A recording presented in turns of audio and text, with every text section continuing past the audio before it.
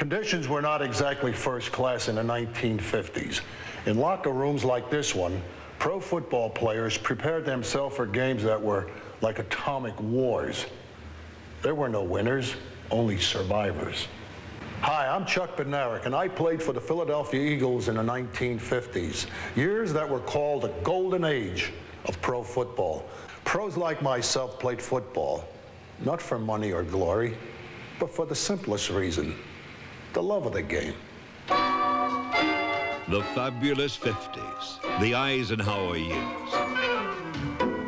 A period when people took life and each other a little less seriously.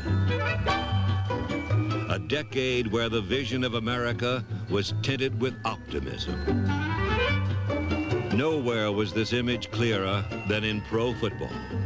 It was heroic, romantic, and nostalgic. Purest form of sport.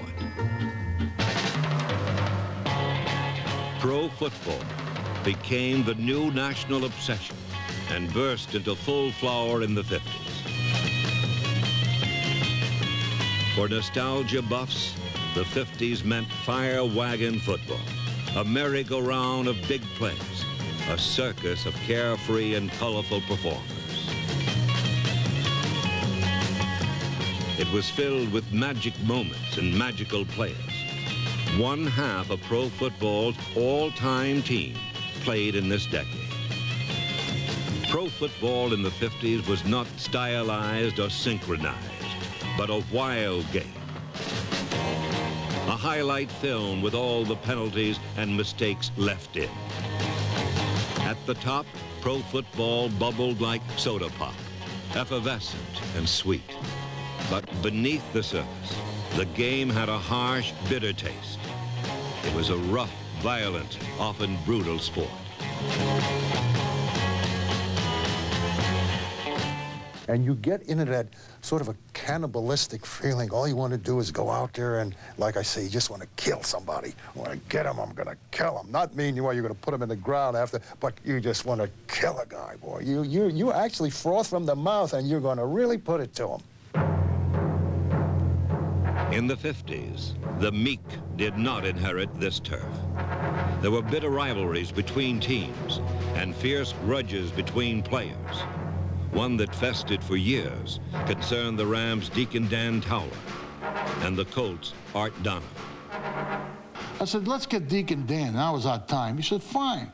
So here comes the, the Rams out of huddle. Van Brocklin was the quarterback. He hands, fake hand off to Deacon Dan. He comes into the line. They pitch the ball out to a halfback, and Finn and I got Deacon Dan down on the ground. We're really going at him. So the official grabs us. He says, if you guys do that again, it's going to cost you 100 bucks. I'm going to throw you out of the game. We didn't know that Deacon Dan, he ran off the field. And they put the other fullback in named Tank Younger. And they both look alike. Uh, they were six foot three, 240 pounds. They're both black. So unless you knew the number, you didn't know hell they were. Same play again. We got him down on the ground. Now, I got his nose, and I'm trying to pull his nose off his face, and Finn's, Finn's banging on the back of the neck. So all of a sudden, from underneath the pile comes, hey, he says, leave me go. He says, this ain't the Deke, it's the tank. We had the wrong guy. Players like Art Donovan could find something funny in a broken leg. They were undeniably violent, certifiably tough. I lost six teeth on one play when I blocked the punt. He kicked me in the teeth and uh, knocked all my teeth out. And I vividly remember that because I was looking on the ground for my teeth. And when I'm, and everyone was yelling, get in the huddle, Bob. You know, it wasn't get off the field, Bob. You know, get in the huddle. We, we, we don't want to call a timeout. Number 79, Bob St. Clair of the 49ers had a caveman aura, but he was no brainless brute. At six foot nine, 270 pounds, he was a massive blocking machine.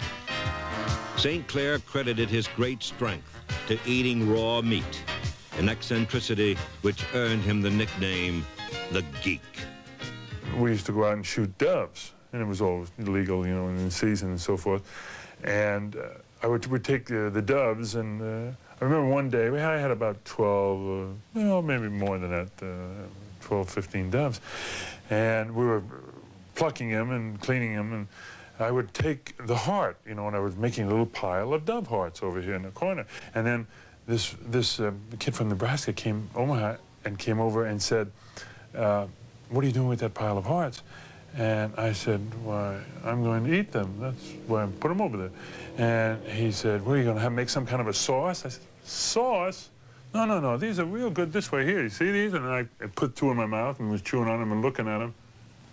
And I thought he, was, he turned three different colors. I thought he was going to faint right there. He ran out of there. I'm sure that he would call back to his girlfriend or his wife or his mother or something in, in Omaha and say, there are cannibals out here. The 1950s produced the most outlandish cast of characters in pro football history. A witch's brew of monsters, mavericks, and magicians. The most colorful team in the league was the Detroit Lions, a riotous bunch of revelers who loved wine, women, and song. Their party shaper was quarterback Bobby Layne. One time we passed him at halftime, coming out for the second half in Baltimore.